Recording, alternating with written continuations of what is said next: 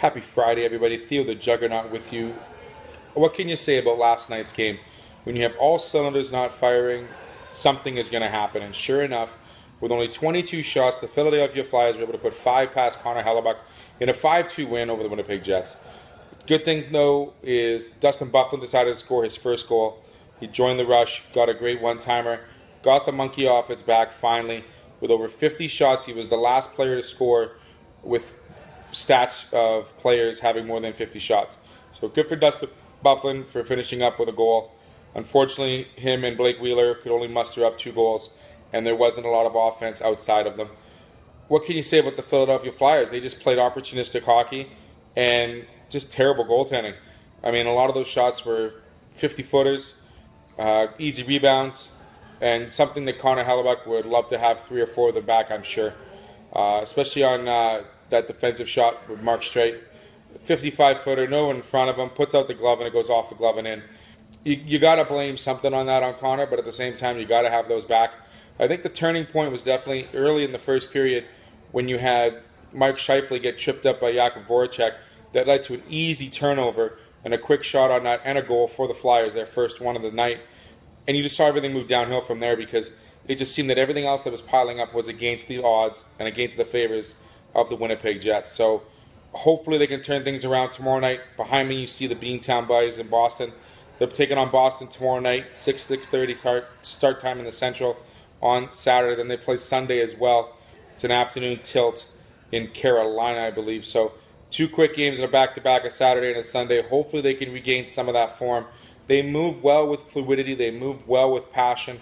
They move the puck from offense, from defense to offense smoothly. However, those wheels get right off the train tracks extremely fast when not all cylinders are moving the way they're supposed to. So, however the Jets organization, however the coaching staff wants to handle the goalie strategies here for the upcoming games, Connor Hellebuyck had a great run there, seven out of eight. But the bottom line is Hutchinson's waiting in the wings. And do you trust Hutch to go into Boston or do you trust him to go into Carolina? Remains to be seen. I mean, if they played tonight in Boston, I think you would have seen maybe something different happened last night.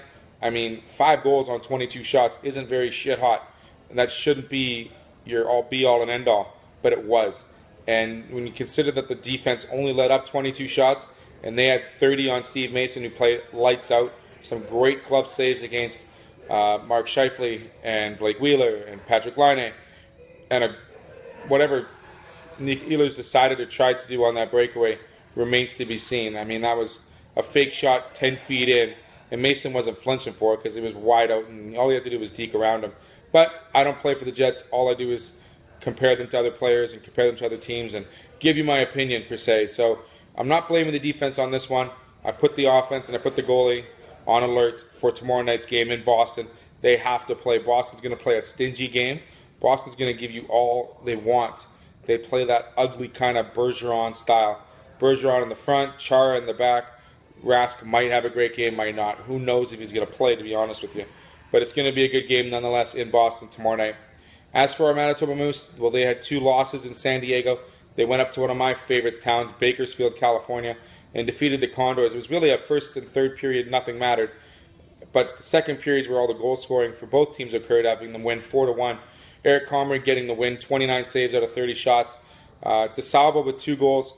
Good job for him. He's now got three as well. Scott Glennie getting on the assist sheet. Brendan Lemieux scoring the fourth. And it was great to see some of the offense again from the Manitoba Moose. They are working and building that chemistry well so that it's hard for Paul Maurice to pick and choose who he needs to bring up. But at the same time, he has the horses in the stable ready and willing to get in action in the NHL caliber. So good job for Pazzi. Well done. They take they're on to uh, Arizona playing the Roadrunners in Tucson tonight. That game should be on live Moose TV online. So yeah, there you go. If you got something to do, if you don't have anything to do, check them out online. But like I said, have a great weekend. Hopefully that snow doesn't stick around. If you are getting a bit of that blizzard, hey, it's bound to happen anyway. This is Theo the Juggernaut saying take care, have fun, and uh, hopefully uh, you have a great weekend. We'll do a roundup of uh, all the big four on Monday. It's going to be a big weekend. It's going to be a busy weekend, and let's have some fun. Take care.